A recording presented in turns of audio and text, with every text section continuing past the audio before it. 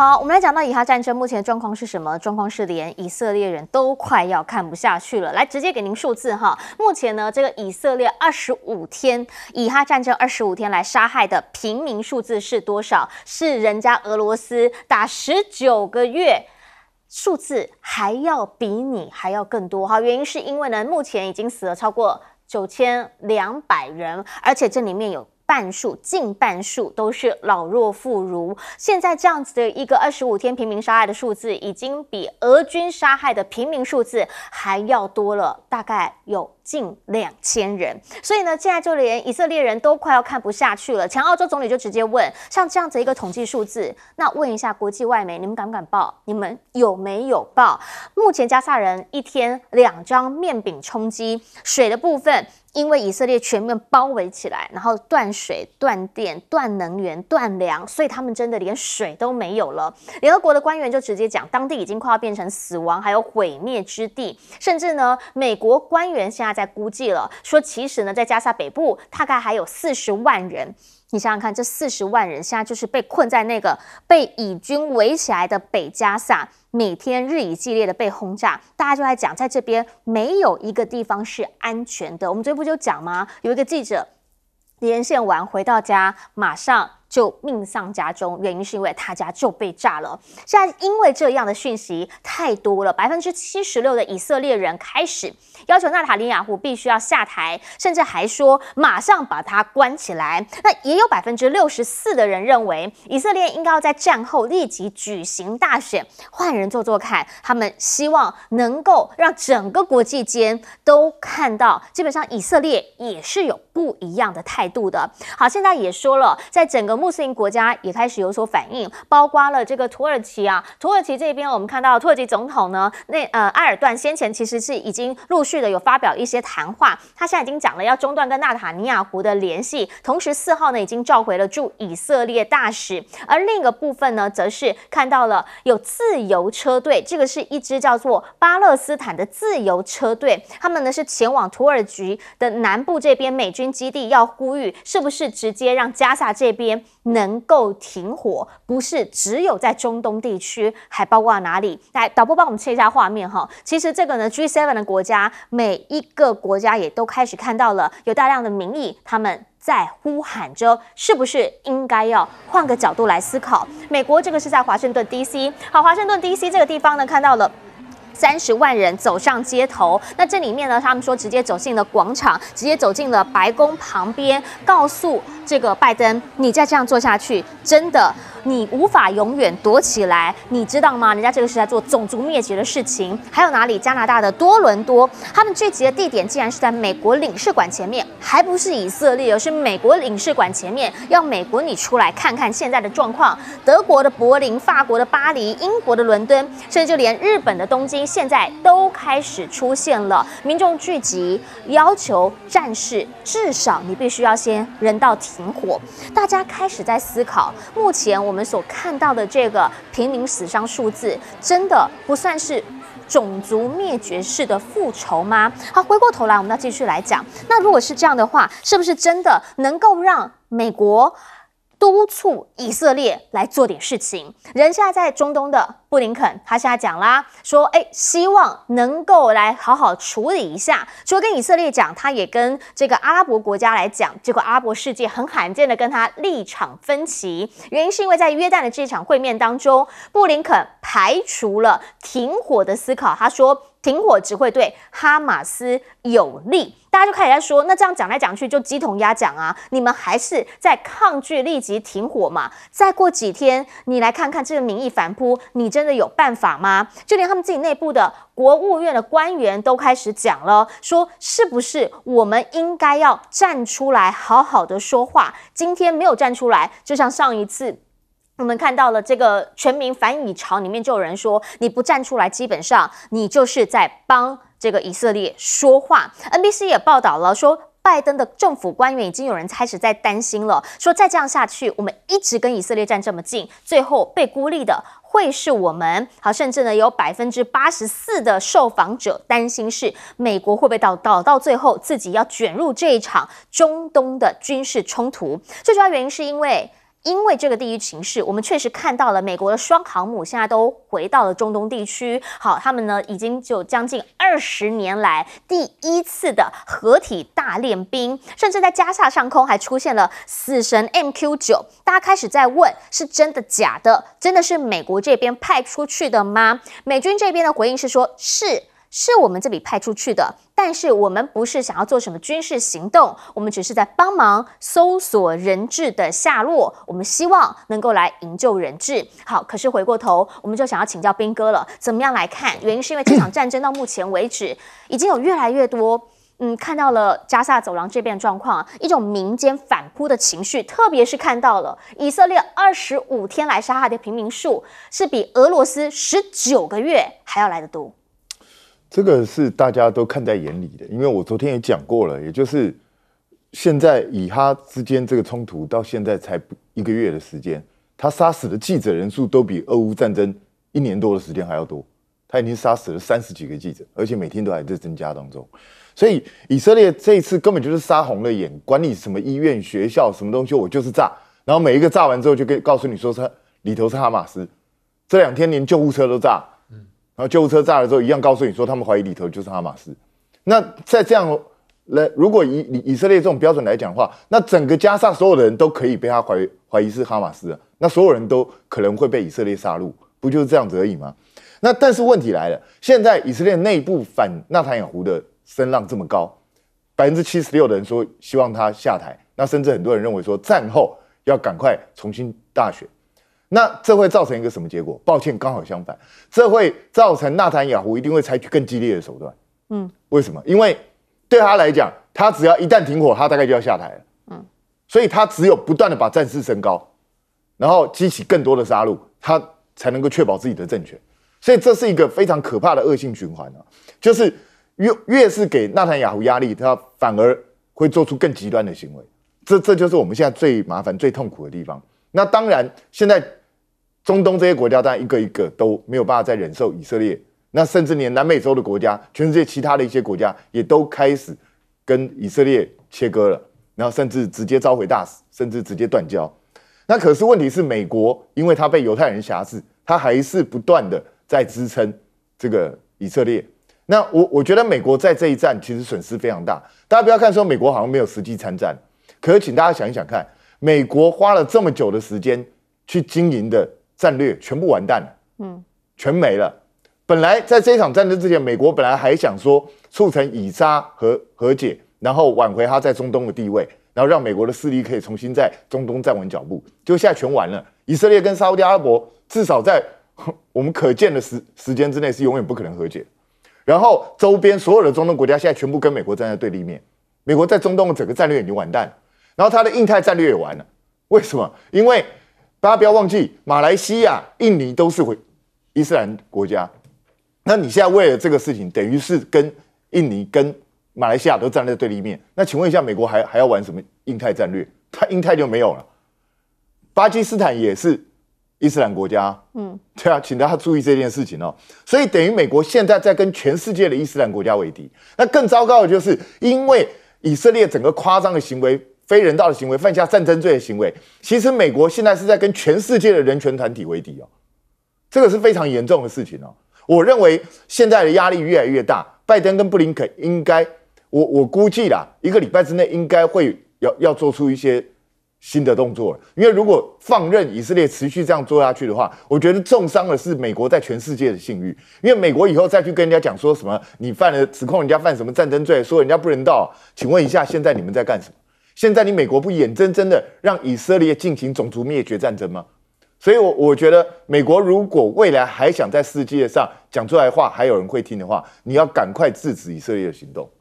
其实不止我们刚刚讲的哈，那个六分割图 G7 的国家有一些民意在反扑，还包括什么？包括你们自己国务院的官员啊，直接骂拜登就是手沾满鲜血。包括我们刚刚讲的，现在有百分之八十四的人担心美国自己会卷入中东这一场纷争。好，请教将军了，原因是因为我们现在确实就看到了，这应该是二十年来吧，又再一次看到他们双航母再一次的回到了这个地区来来来练兵。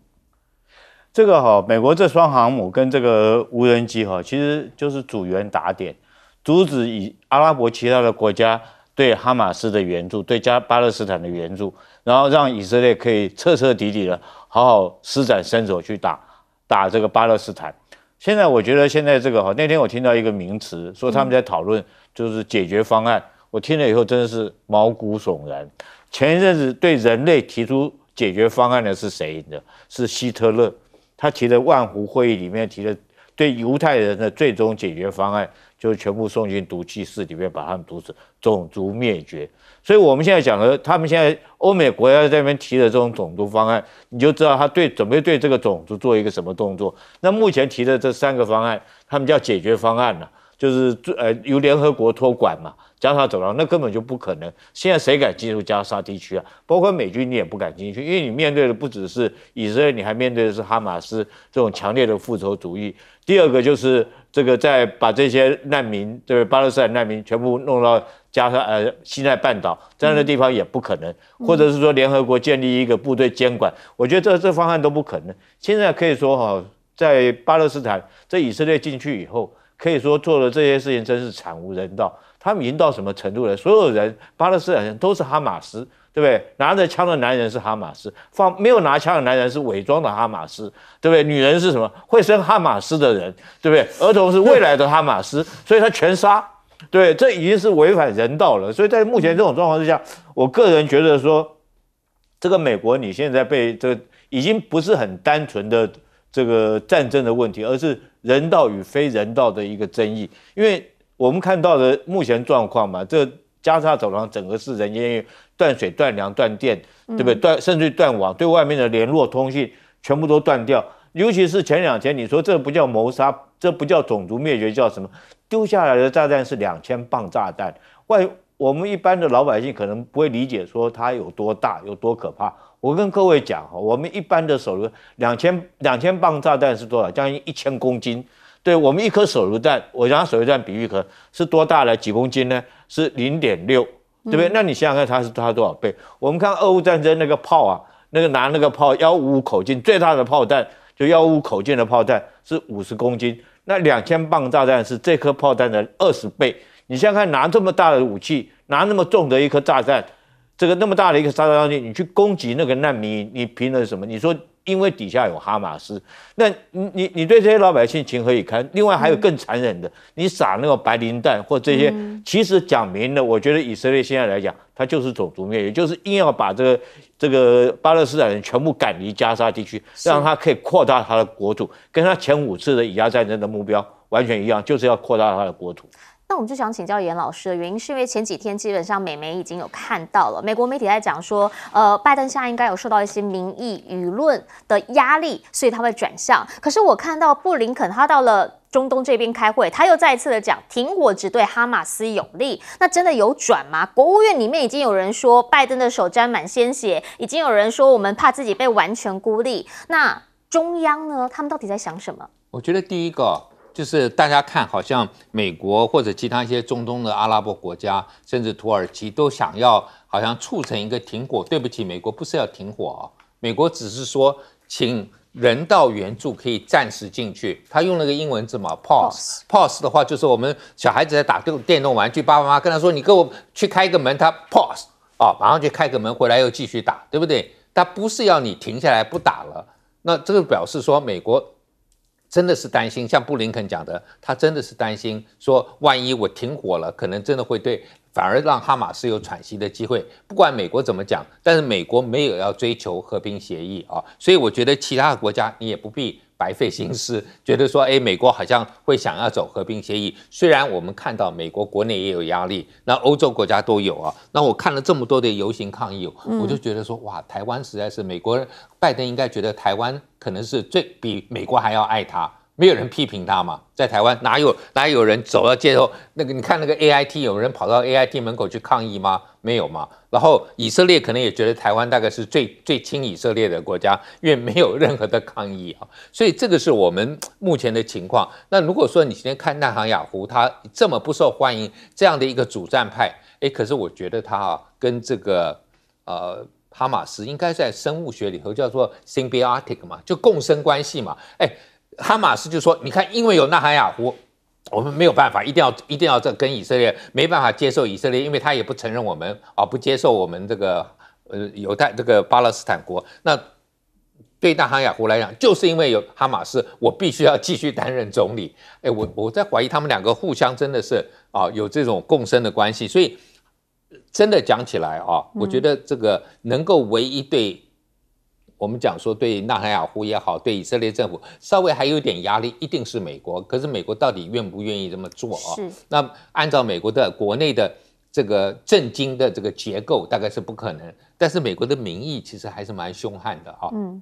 包括你里头这么多外交官，就好像当年我们看到很多外交官不满意川普，川普一样，也会有抗议。那我觉得这种的压力啊，会让布林肯会觉得说，哇，我我当国务卿，你们给我拆我的台，那至少会要做一些政策的调整，让他能够继续领导国务院。否则的话，就变成是你跟大部分的职业外交官，虽然你也是职业外交官出身，你跟他们的意见相左，不是好事啊。是，就是到底还能够继续站着这个头，领着这些人，他们愿意跟着你往前走，等等的广告回来，我们则需要好好聊一聊了啊。原因是进博约会正在展开当中，而现在呢，也是七年来哦第一次，澳洲总理再一次的来访中国，等等带你来看。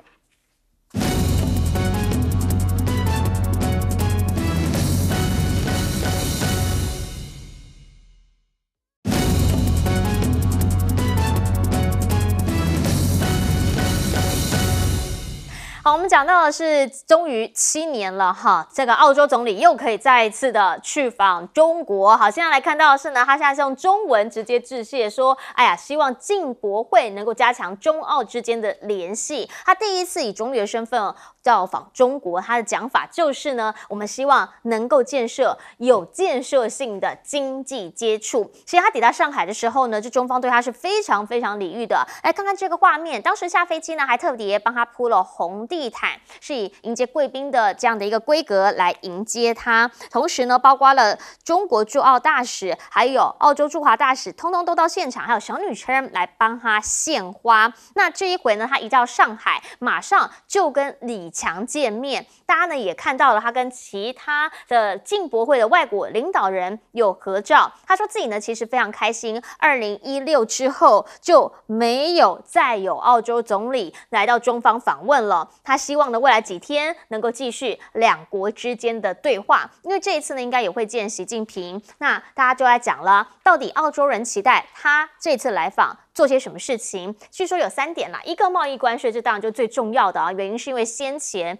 的一些中澳之间的冲突，造成很多品相进不了中国。再要一个呢，就是说有在中国被囚的澳洲公民以及人权议题。可是艾班尼斯呢，重点放在经济，因为他就直接讲了，他看到两国稳定带来的好处，就是过往哎木材、大麦、甘草卖不过去，现在通通解禁。葡萄酒现在解禁呢，说从上个月已经开始同意对它进行快速审查，所以可能明年三月之前，北呃这个澳洲的葡萄酒有机会在北京重新上架。澳洲的贸易部长就直接讲啦，说包括了龙虾，包括了牛肉，好这一些，通通他们也都在进行游说当中。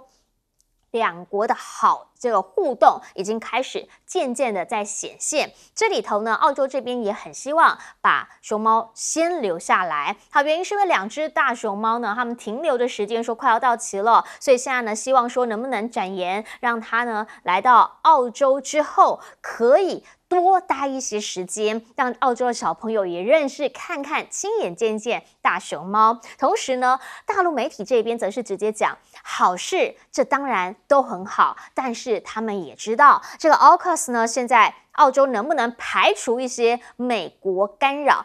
用语很直白，就是不要再搓眼睛，不要再踢小腿。他们讲七年了，好不容易呢，现在才判到了一个 U 型。这个 U 型有没有办法直接变成一个 J？也就是呢，让这个往上拉抬的身势再往两边都好一点的好处去发展。这就是双方基本上在做生意的人都很期待的事件。其实呢，美中双方。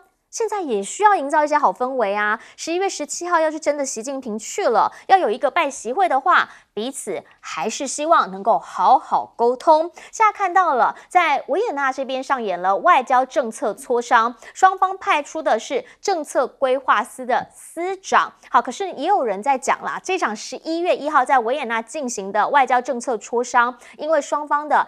等级去的外交官员不是特别高，所以呢，他们现在就讲说，是不是基本上谈不了什么大事？对于改善中美关系的影响力有限，但对话总是好事。只是现在也看到拜登好像有不同的想法，比如说。他也开始跟拉美的领袖加强经济关系，用语是这样，您来听听。他说了，他要承诺美国在区域里头的投资，强调我们都是好邻居，你们可以做出真正的选择，可以不必落入债务陷阱。他愿意提出的是一个建设的替代方案。嗯，啊，这讲来讲去。不就是在 剑指中国吗？但是呢，现在拜登也有可能的是，因为重要还是要选举。那，今年呢，他可能不会再出访了，也就在 IPAC 之后，他之后也不会去所谓的气候峰会。本来说要去欧非洲访问，现在恐怕也通通都会跳票。最主要的原因还是在哪里？还是在于现在在美国。俄乌战争，他们必须要好好的来了解，以及要好好的来援助。那在以哈呢，现在新烧起来的这个部分，也要好好的来处理。对于拜登选举才是要物。回过头请教斌哥怎么样来看？好，澳洲 终于啦，艾班尼斯上任之后，不断的示出善意，现在能够再一次访问中国。艾班尼斯其实上任之后就一直在化解他跟中国大陆过去的这些旗舰，然后。现在慢慢看起来，两个两个国家之间就是融冰还融的蛮快速的。那艾班尼斯也到了大陆去访问了。那接下来未来两国之间的相关的关税啊，过去一些抵制的一些商品啊，应该都会重新恢复交易。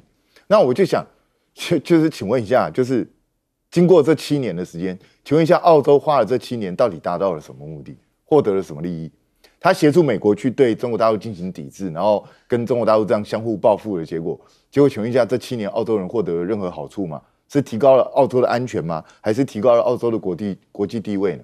看起来都没有，看起来就是白白浪费了七年的时间，让澳洲人有七年的东西，很多东西卖不到中国大陆去。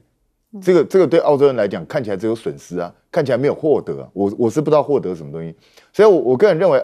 艾班尼斯上来之后，你看他也并没有放弃跟美国之间的关系哦，他还是跟美国蛮紧密的。只是呢，他在缓缓解他过去跟中国、澳洲跟中国大陆针锋相对的这种冲突。我觉得他算是蛮成功的，也就是我还是跟美国站队，我还是奥卡斯的一员，我还是五眼联盟。但是呢，我跟中国大陆也没有必要交恶到这种程度。该做生意还是要做生意，我我觉得这个是一个很正确的方向，也就这才是为澳洲人民的福祉在做打算，而不是像过去的，好像只是闷头跟着美国走，然后完全没有想到澳洲自己真正的核心利益到底是什么。所以，我我觉得澳洲的这个做法会让其他国家大概也看到，就是你跟美国走的这么紧密，请问一下，到最后美国获也许获利，那你获得什么利益呢？那至于说中美国现在看起来也在降温。我个人是这样觉得，所以 APEC 我认为习近平是非常有可能会去，因为包括李家超的事情已经解决了嘛，是，就是双方也做出了让步，然后我我觉得私底下会有一些双方一些磋商还是会持续进行。那当然到现在为止，中国大陆还没有正式宣布，嗯，所以可能还会有一点变数，但我我看起来是蛮乐观的，也就是说中美之间是开始在降温了，因为对拜登来讲，乌二以哈已经让他这个心乱如麻，你这时候再去跟中国大陆。提高冲突的这个这个层面的话，我觉得对美国是不智的，所以我觉得他一定会试图去降温。只是问题是，这个也只是降温而已，不可能双方的斗争未来几十年都会不断在发生，也不会因为这样就言归于好。是，请教杨老师，你怎么样来分析？哦，我第一个我看这个埃班尼是去大陆啊，那我就想到当年啊，到澳洲因为出口这种原物料啊等等农产品到中国大陆很多的时候。哎，他那个时候有一度哦，他的货币比美金还大哎，哦，就是我们对台币它是超过一比三十，现在是一比二十亿左右，很低了。就是因为少了这一块哈，我觉得他整个这个经济，所以艾班尼是一定知道嘛。就是十几年前的时候，那个时候澳洲靠着中国大陆的市场啊，真的是赚够了，真的是第一个。第二个就是说，他这次去上海去参加这个进口博览会，你就可以想象，这个进口博览会是过去六年到二零一八年开始，但另外一个更早的博览会，我比较熟的广州博览会，一九九三年，那是主要是大陆出口，所以就看了二十五年、三十年之后，大陆就变了嘛。大陆不是只靠出口了，它现在的进口的吸引力可能更大。大家以前都觉得啊，大陆就是一个制造业工厂啊，很会制造，很会出口。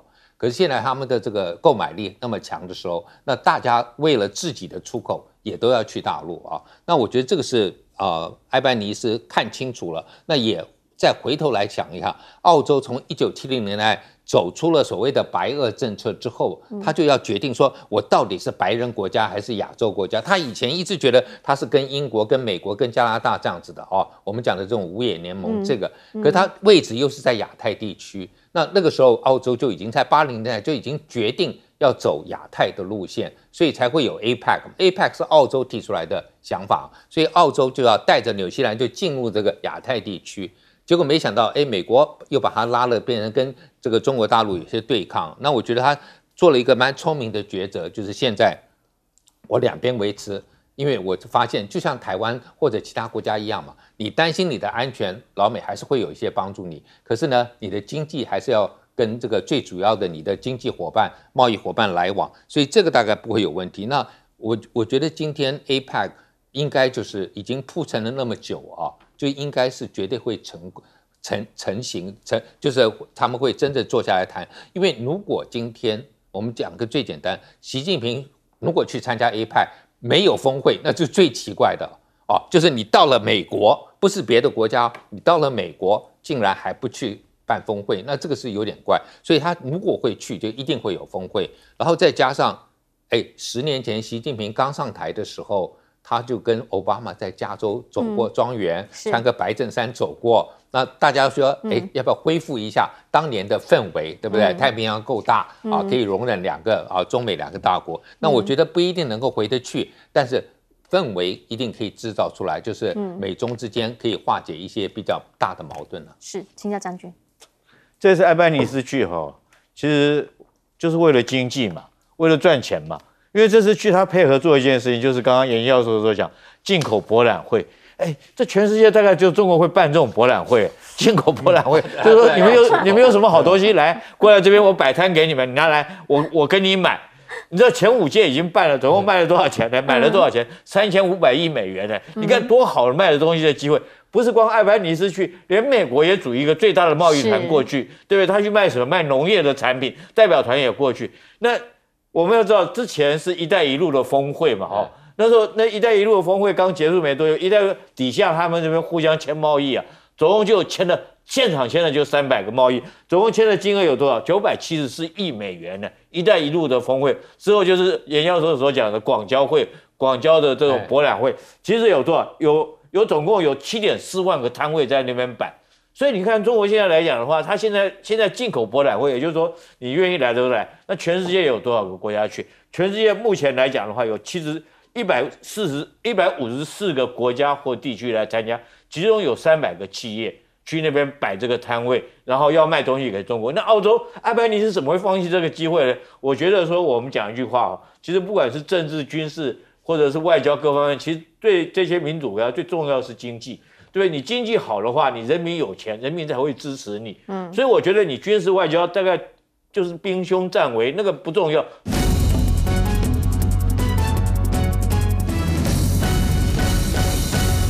以巴冲突现在呢？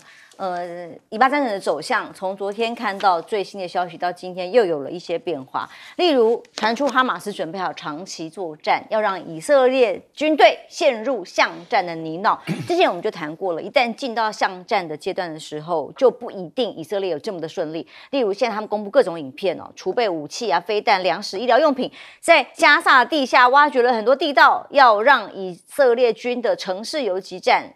因此也有很多死伤啊，数十敌军都就是以色列军人啊的，也在这个攻击里面受到伤亡。哈马斯已经很多次从地道发动袭击了，那以军用炮火回击，号称也杀死了数十名哈马斯成员，甚至有把几个主要领袖都有清单，说我已经摧毁了、歼灭了谁，那么摧毁地道跟观察哨，但问题是。杀害的平民更是多。根据一个数字的统计哦，以色列在二十五天所杀害的平民数字已经超过了俄乌战争里俄罗斯的十九个月的统计。目前短短二十五天，已经有七千四百八十一位平民丧生。所以，呃，前澳洲总理内阁秘书长讲话了。西方主流媒体是否会认为这种行为跟里程碑值得报道？他们有多大的可能性会报道平民所受到的伤害？而以色列认了空袭医院这件事情哦，是说救护车被炸得很惨，而且那个是要离开去送医急救的，离开边境的。但是这个国防军证实，空袭这个医院附近的救护车队，就是因为哈马斯就在医院下方建造指挥控制中心嘛。这我们昨天谈到，因此看到救护车上的惨状会这么惨。可是搬下来的人，其实里头都是老弱妇孺啊，还有孩子啊。那现在以色列又炸了，又炸大学，来看看这段画面。这个炸的是加萨的阿兹哈尔大学。这个大学里头呢，被说啊，在里头也有摧毁性的建筑物，有哈马斯的反坦克飞弹发射器等等。但里头其实有很多是庇护一般平民的学校，但现在也被炸了。现在正准备清查，这是来自最新的消息，还要清查说到底有多少无辜的人受害，有没有学生，有没有老师，甚至有没有收容一般的难民。这样的冲突实在是太多了。所以布林肯再度去访问了以色列之后，态度是什么？他仍然拒绝。立即停火这件事情，所以他们才会喊人道暂停，只用暂停。所以呢，他说如果现在停火的话，会让哈马斯卷土重来，就是让他们全部死光光，要歼灭的概念。所以布林肯在约旦会面阿拉伯领袖的时候，还是对于很多谴责他们的声音呢，仍然不愿意。接受他说，这个所谓战争罪会让哈马斯卷土重来，只要值得吗？只要值得犯的话，就让他继续犯下去吗？那以色列停火的话，就可以让哈马斯展开攻击，所以平民死再多人都没有关系吗？这可能在国际的人道的概念上面，现在正在往逆向在冲撞。而美国呼吁人道停火，同时他干嘛呢？只是呼吁停火哦，同时要签署四千五百九十亿元对以色列军援。免通报军援就是给他更多武器呀，三千吨军事物资给以色列，以色列还有缺 军事物资吗？那现在持续在轰炸里，他只是说暂时停火，但是继续美国送三千吨军事物资给以色列去炸去打，这个到底是什么概念啊？美国国安会的发言人科比说，美方对以色列的军事行动没有设立红线，布林肯只呼吁以色列人道停火，但继续送武器。那现在巴巴勒斯坦啊，以色列。民众的很多不同的意见出出来了，包括以色列内部有民调里头百分之七七十六的民众认为要纳坦雅胡立刻下台。看到的这个是当地的抗议行动，他们认为以巴冲突四个礼拜以来，民众对于纳坦雅胡的弑弑杀的策略呢，已经认为是失职，导致国家的各种安全的议题，同时也不赞成他目前的军事行动，所以很多大批的民众在外可上面喊要把。纳坦纳坦雅胡马上关起来。那政府的做法是什么？把三个人给逮捕了。那以巴开战以后，还有在美国白宫前面的示威抗议，来看看现场的画面呢。这也是现场画面，是有抗议冲突的画面，在骂泼红漆去骂拜登政府。这种各种的冲突画面越来越多，这不只是在以色列或是在中东国家，这是在美国白宫门口，除了有官员。抗议啊！民众抗议，更有激情的民众去泼白宫的围栏、泼红旗。这种画面在美国也发生了，各地欧洲也是一样有这样的冲突。而美国国务院的官员直接拍炮轰拜登是加萨种族灭绝的同谋，起草异议的电报跟他唱反调。可是这我们之前也谈过，问题是拜登、川普两党的意见其实大部分现在是一致的哦。所以亮哥，当我们看到现在以巴战争的最新冲突的时候，现在看起来所谓的人道停。停火暂所谓的暂停啊，暂时的停火，好像也没有看到实际可能的做法。亮哥，没有布林肯去以色列，以色列并没有同意停火了。嗯，他大概只同意布林肯两个两个事了。第一个就是从拉法那边进来的车子可以增加，那听说要增加到一百辆啊。那第二个就是他要减少空袭啊。因为如果用空袭，就会用 JDAM，就是精准炸弹啊。那他要多开始改用地面战争啊。那坦白讲，地面战争会死更多人，我跟你讲。所以不是不是停火，他只答应了布林肯这两个条件啊。那事实上，据我了解了，以色列官员是访问美国了，让美国没有办法要求他停火。他说：“你们打阿富汗、伊拉克，难道有考虑平民伤亡吗？”这个就是以色列官员访问美国的，美国不知道怎么回答，因为伊拉克平民死了二十万人呢。啊，他甚至还问了一个，也是以色列官员问美国的，这犹太官员真的很聪明啊。他说：“你们东京大轰炸的时候，后来又丢原子弹，有考虑过日本平民吗？” 他用这种方式来访问美国官员，哑口无言。所以美国怎么回答啊？他这个就是把。他报复哈马斯视同战争呐，那他要消灭他的敌人。那说你美国当年不是一样要消灭日本军国主义？那你有顾虑到日本平民的伤亡吗？他变成这种论调，哎，这个是二战哦，过去违反战争法，大家没有办法细究。那你既然把这个东西拿来说嘴，你知道啊？现在大家是希望说回到国际法、战争法、国际人道法，你要遵守啊。不然怎么可能？你看俄罗斯跟乌克兰的战争嘛，如果俄罗斯像你以色列这样打，然后乌乌克兰不知道死多少人呢？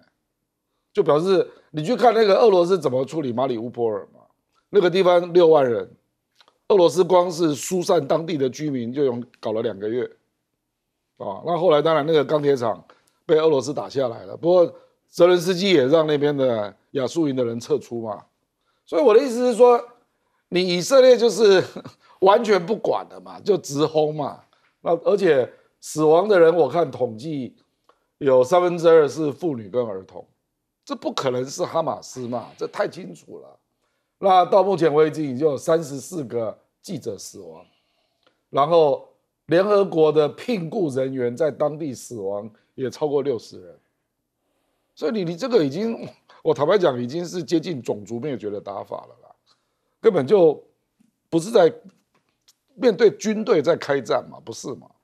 他可能说：“哎，这里有一个哈马斯的指挥官，所以我就把这个地方炸了，几万个人就一起死。”那不就是上次那个难民，他就连连炸三次，那就死了两百个人啊。那就是他说里面有一个指挥官呢。这个战争还是有一定的规范呐。那他是完全不讲规范，就直接让直接打了，你不讲武德啊？呃，就是简单讲叫不讲武德啦，就是这个国际法是有一些规范。有一些动作不可以做的，然后白磷弹，白磷弹，如果你是军队对军队，这个还有灰色地带，你对平民怎么可以用白磷弹呢？这个也都是违反规则的啦。所以我认为啊，美国现在就是两难呐。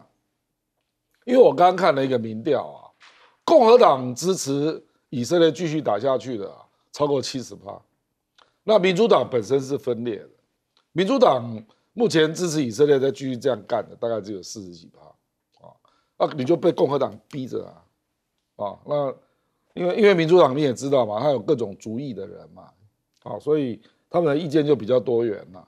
那共和党是非常一致的，无条件支持以色列，包括十九个州长，包括川普啊，包括共和党的国会都是这样，所以拜登有点被夹住了啦，他现在就变成进退两难。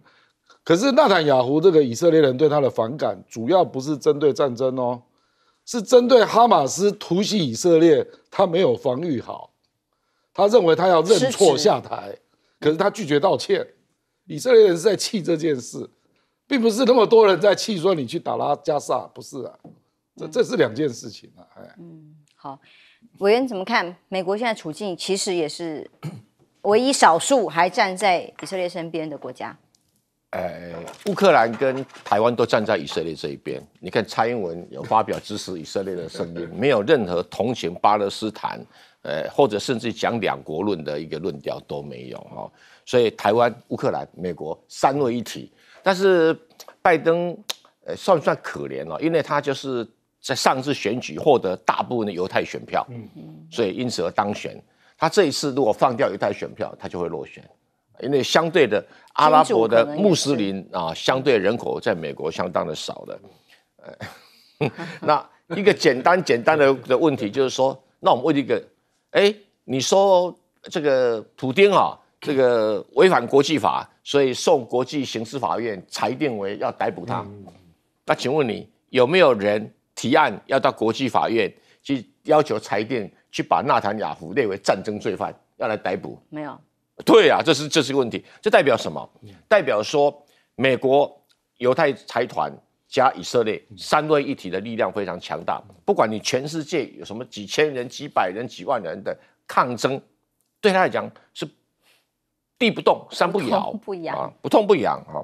也就是说，今天在以色列的内部也真的是很强悍的，非要呃把哈马斯给歼灭不可。因为他们觉得今天不见面你，以后更没有理由，也更没有机会了哈。那这个东西就是变得双方面这场战争可能还要再继续打个一个月，因为他们评估就是说，第一个以色列是要把加沙城全部轰为平地，第二个轰为平地的就没有所谓地道战不地道战啊。那第三个，因为在轰的过程里面，现在加沙城大概不到二十万人的居民。啊，就是北部全部加起来不到三十万，加沙城不到二十万。那经过的轰炸，他们就会慢慢往移后面移动，不移的人也会移走，因为轰炸完了公共设施没有。那第三个，他们认为就是说，借这个机会宣称大学、医院啊、各中小学，还有各个中呃清真寺公共场域都有哈马斯的地道出入口。那不管有的没有，他拿这个做借口，通通把你铲除了。所以。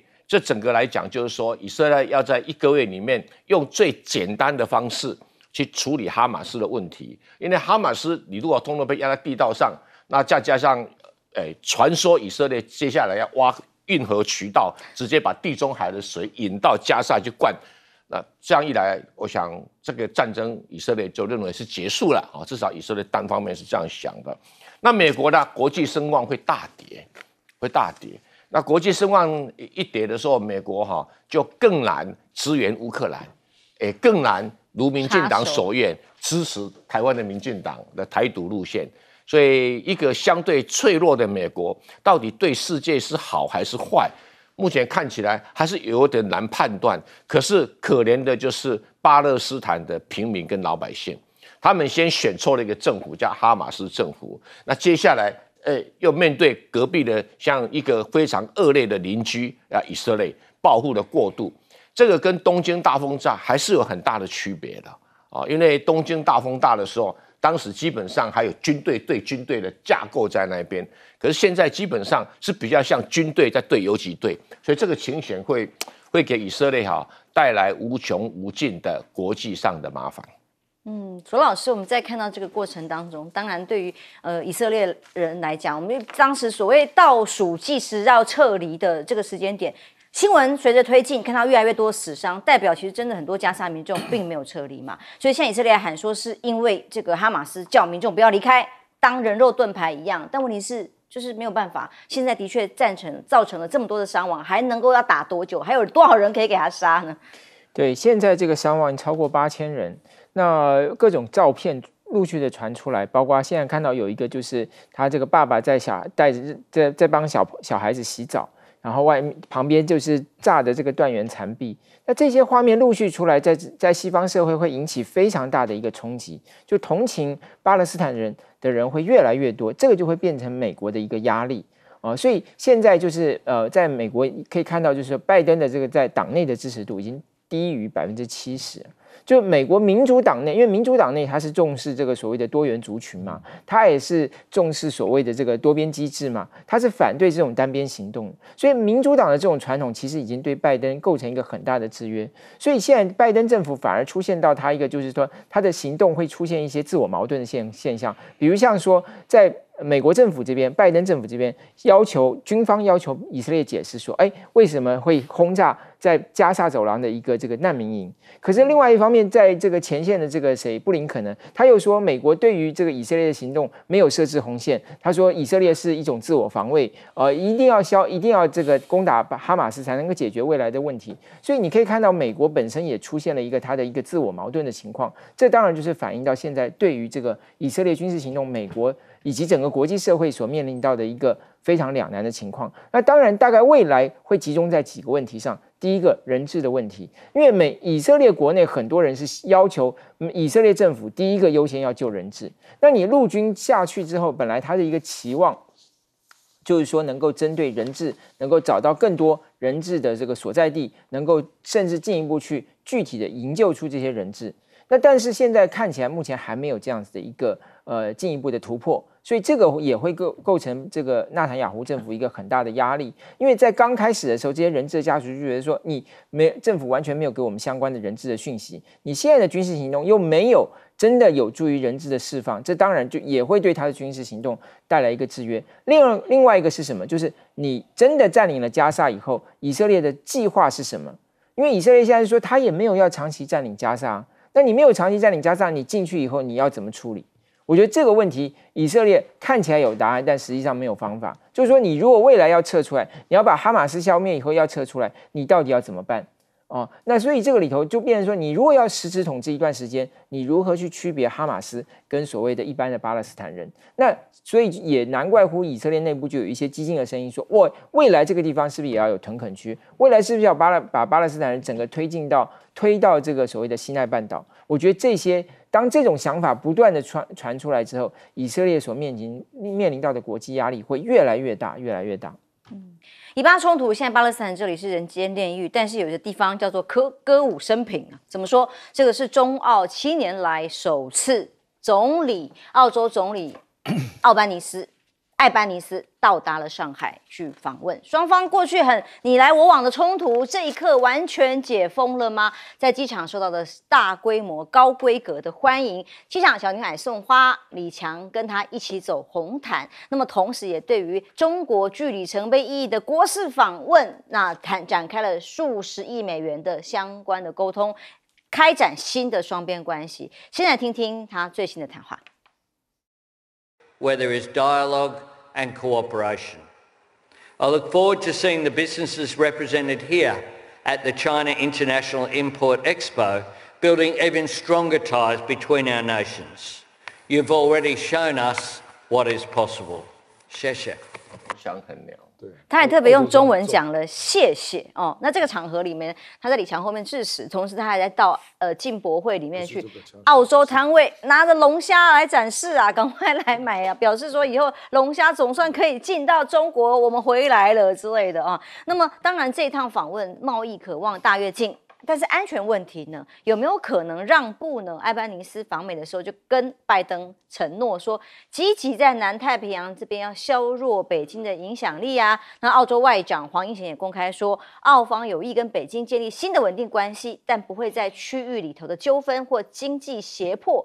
关键忧虑上让步，这是鹰派的说法。所以一边要让美国放心，一边又要跟中国展开各种贸易的合作。那么澳洲总理访华，大陆媒体说的是什么？呼吁啊！排除美国干扰，只要美国不管就好啦，不要再戳眼睛、踢小腿。中澳关中澳关系回暖，包括大陆的政府这几个月放松了对大澳洲的大麦啦、煤炭呐这些各种进口。虽然龙虾、牛肉的商品还有限制，葡萄酒关税审查还在等结果。预计啊，这趟艾班尼斯如果访问都顺利啊，都和缓、快快乐乐的话，说不定接下来访华期间就会全面的开放了吗？所以美澳之间本来是美国在这边当地的第一警长，不是吗？现在身后的安全关系有没有可能让中澳关系仍然有不稳定的因素在其中？中国官媒说，排除美国因素的干扰很重要，但是呢，在于中国对于世界美国干扰怎么排除哦？中方的做法，日经新闻的报道。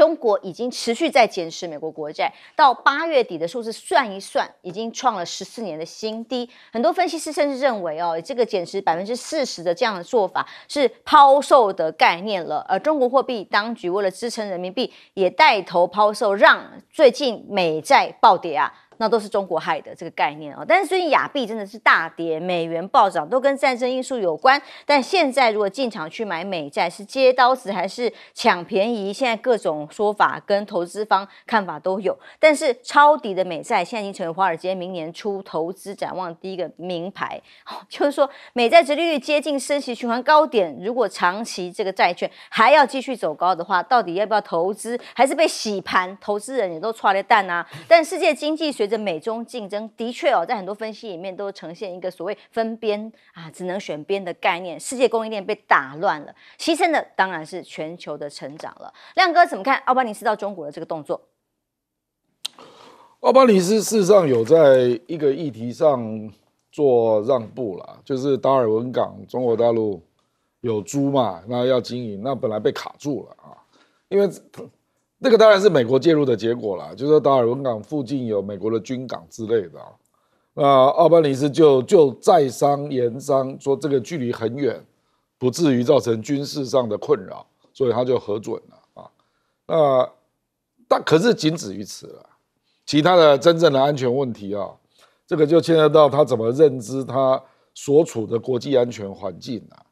讲白了，澳大利亚又没人要打你，可是你整天到晚你就想进第一岛链，这简直是莫名其妙啊！哦，澳大利亚距离中国大概有五千多公里，哎，啊，那你周边的安全议题应该是南太平洋跟印尼吧？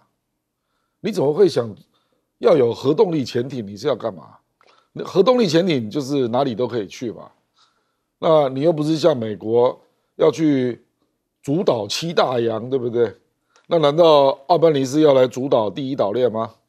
我是说澳洲啦，啊，这个不可思议了。那他为什么会有这种思考啊？就是他一直认为他是 Anglo-Saxon 嘛，所以我应该维护我们 Anglo-Saxon。亚洲帝国嘛，所以我要扮演一个角色嘛。你如果不是这样思考，你不可能有这样的安全战略了啊！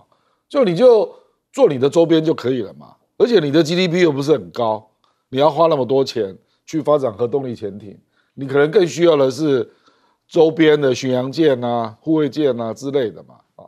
所以这个我我觉得，只要你那个认知你就卡在那里，你认为你是 Anglo-Saxon 而不是亚洲人啊。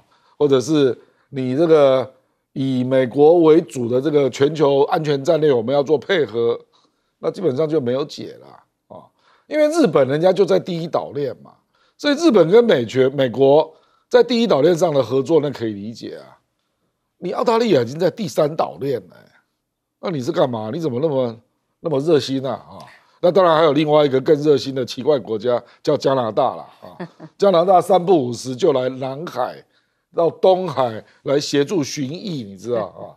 这距离你个一万公里以上啊！啊，这个就是我认为这个就是加拿大跟澳大利亚自己没有办法脱离他那个自自我的那个认，我们叫 identity 啦，identity 定位，identity 会决定你的安全策略。没错啊，那加拿大本来就美国的小跟班啦，完全可以理解，因为加拿大的出口有百分之七十二到美国。啊，所以加拿大听美国大哥的话，我比较可以理解。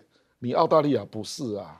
你三十五趴的出口是到中国大陆，哎，那结果你跟中国大陆对着干，你是不是有是不是头脑有问题啊？所以现在去啦，不，所以他就有点尴尬。不，这个只是劳工党，那个自由党如果有机会回来，又又回去了 啊。所以我是觉得这个恐怕是澳大利亚的根本问题了。这个就跟他当年。在一九七零年代调整那个白澳政策，那个就是一个大改变，所以他现在有很多亚裔嘛，对不对？那我认为他的国家安全战略事实上早晚会调整了。我觉得纽西兰就调整的比他好了。纽西兰就说我就是亚洲国家，我就是南太平洋国家，我不会胡思乱想啊，去想说我是伟大的 Anglo-Saxon 帝国的成员啊，大概是这样。就不从这里改是没有没有办法改的啦。所以阿巴尼斯这次访中受到热烈欢迎，有没有机会真正的改变澳中关系呢？我们休息一下，马上回来。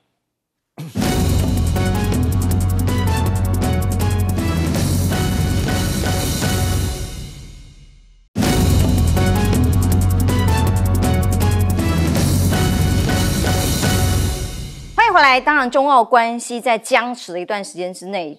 总理访问中国，这次受到热烈欢迎，看起来双方有解冻或进一步更多发展的可能嘛？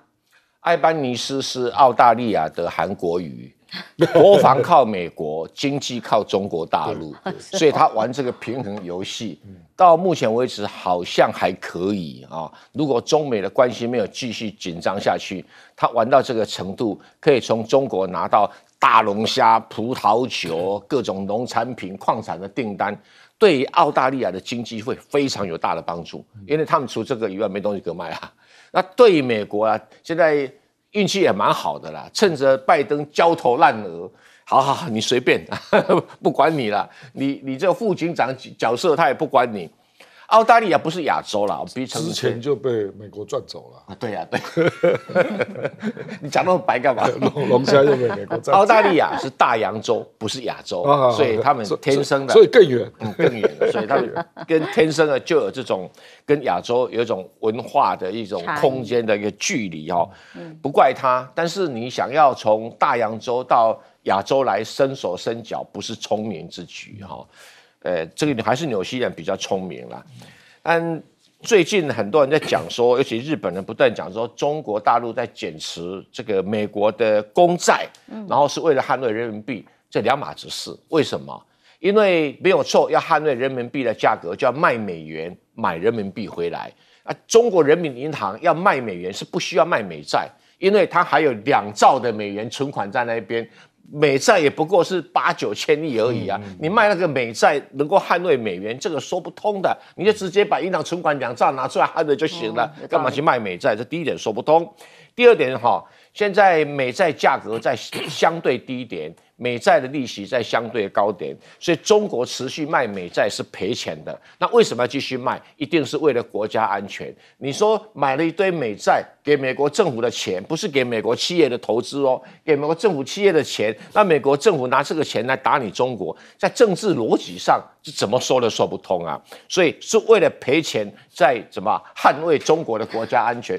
可是我去年二月份叫你卖，你偏偏不肯卖，你卖到最低点。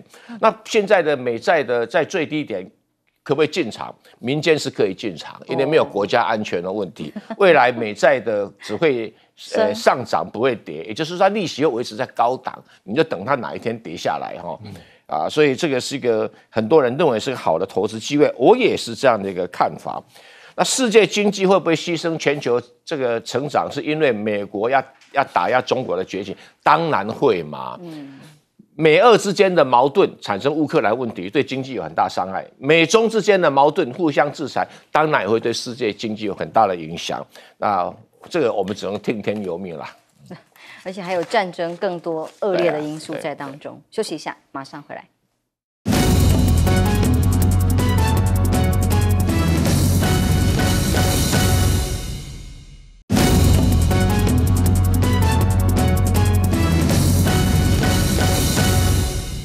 来，当澳中关系在改善的时候，整个国际局势也在变啊。那么抗中的氛围，哎，在美国的大警长是不是会变呢？左教授，好，我觉得澳洲的这个模式其实最重要，我认我认为是一个非常好的一个先例，就是怎么样跟中国大陆改善关系。现在中国大陆也非常肯定澳洲的做法，那美国也相对来说也非常支持澳洲的做法，所以他创造了一个美中之间的一个呃交集。那他怎么做的呢？第一个其实也非常简单，就是在言辞上做了修正。其实看起来是非常简单的事情，可是这个对于双边关系是有很大的帮助。我们在国际关系理论讲的建构主义嘛，就是说我们通过我们的言辞，不断的创造双方进入一种所谓可以互、可以友好互动的这样子一个氛围，那就会实质上去改变它的关系。澳洲采取就是这个、这个、这个做法，所以然后再一步一步去解决双方的这个呃双方的一些难题，包括贸易上的一些这个争端啦。那你看，现在中国大陆去。呃，解除一些对澳洲商品的禁令，然后澳洲也撤回他在 WTO 这个这个争呃诉讼案。那这个其实就是双方各有一个善意。然后现在大陆呃中国大陆也释放了这个陈雷，我就是先易后难，一步一步把双方的这个呃难题逐步的去解决。但是这个的第一步是什么？就是你言辞嘛。你能够通通过言辞向对方示出善意，然后对方也能够有回应。当然，双方的高层的沟通很重要。所以赖清德一直说，是呃，这个所有的对话，如果是九二共识的话，那就是出卖主权。可是我要告诉大家，如果你没有对话，所以就不可能有互信；没有互信，就不可能有这样渐进的改善。